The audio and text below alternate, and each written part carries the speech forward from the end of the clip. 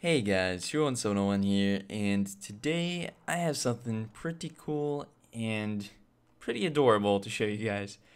Uh, so what I have to show you guys today is essentially an MC Edit filter that allows you to do these, allows you to make, sorry, these adorable little miniature structures of actual real life structures in Minecraft.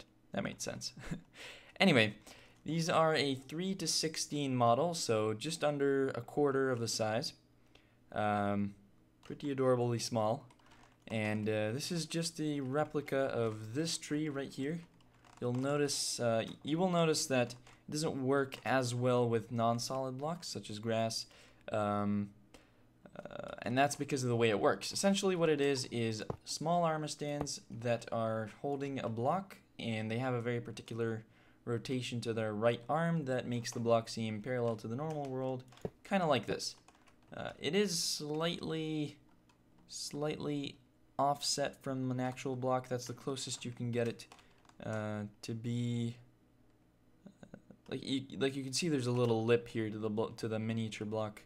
Um, hopefully, you understand what I'm talking about. Anyway, yeah, it's it's not too big of a deal. It's it's still pretty damn awesome. Uh, you can walk through this, so bear that in mind. And if you if you don't want people to be able to walk through this, then you might want to put some barrier blocks around it. Um, but I don't really care. I think it's pretty awesome as is. Uh, so what I'm going to do is get rid of it just with a quick kill command here and then spawn it back in again, just like that. It's instant, it's simple, it's easy, and uh, yeah. So I'm to go ahead and uh, make another little structure see you guys in MC Edit and show you how to use the filter. Alright, so here we are in MC Edit. This is our world from before. And I'm going to create a little model of this little shore over here. Yeah. This little peninsula. Good. Okay, so I, so I just selected the whole thing. And uh, what I'm to do, let's actually get yeah, whatever. Let's leave it like that. So, so I've just selected the whole thing, and let's actually select the sugar cane so we see together what that what happens with that. It's probably not to look good, but let's see. Um, so anyway, I'm to go ahead and hit filter and uh, just ignore some casual filters I have here. And I'm to select mini structures. Um, and the GUI is pretty self-explanatory. You select the source block that you want to spawn in the structure uh, the mini structure that is. So I'm gonna say I'm gonna spawn it over this water here, and um, the way what you want to do basically is say I want to spawn it right here. So I'm gonna go ahead and hold down Alt so I can see the coordinates of the block I'm selecting, and uh, I'm gonna try and figure out the block with the smallest coordinates. So that would be this corner, I believe. It's going up in this direction and up in this direction. Yeah, okay, so this, so in this direction and in this direction, it's going down. So I'm gonna go ahead and select this block.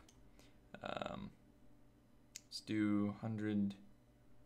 Okay, so negative one, negative 235, negative 175, and we're gonna take it up a few blocks in the air. So negative 265, negative 175, I believe that was and the y let's do 65 just make sure that that was the right no it was 235 alright so once we have those put in right there so now we're gonna hit filter and this is gonna take a couple seconds depending on the size of your structure and then it's gonna open a little uh, Windows style GUI that I pretty sure you guys can't see uh, but basically, it's just to select the name of the schematic file that you're going to save. So I'm just going to type in structure.schematic. Yes, I do want to replace the previous structure.schematic. Uh, now I can deselect the original structure and hit import. Import the same thing. Again, you can't see that probably. And now we have two sheets of command blocks.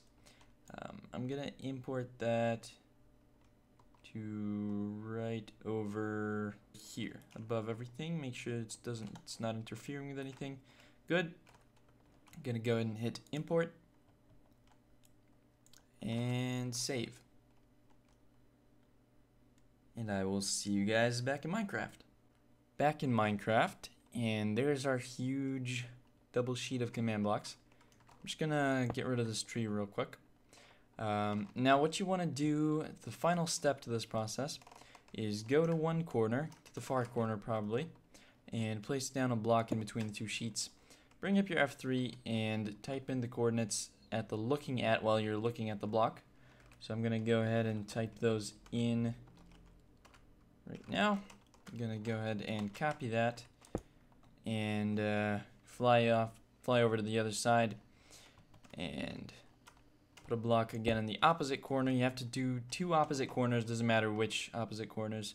Uh, bring up F3 again, paste in the coordinates from before, and then type in the coordinates uh, that uh, looking at this block and copy the whole thing. Then what you want to do after that is just place a command block somewhere around this. You can even place it on the on this on the side if you want, but basically just place a command block uh, that will touch the redstone blocks that that will be in the sheet in the middle here, and type in fill the coordinates with air, and uh, then go over to wherever you want your activation to be. Place down a command block, and again type fill those coordinates and redstone block. Awesome. So put a button on it, or I prefer using a redstone block. And I'm going to put another command block right here that's just going to get rid of the redstone block once it's placed. So let's go ahead and check this out.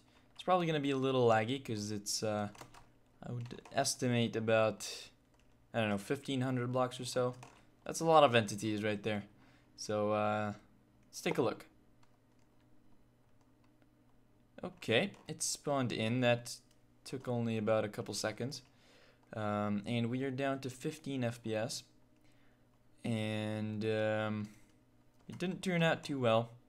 Uh, these are all the tall grass, all this, uh, all this unknown texture stuff. This is all the tall grass, like the double, double block tall grass that's over there. Um, and the sugar canes.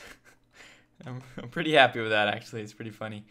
Um, but the rest of the terrain turned out half decent, not too too bad.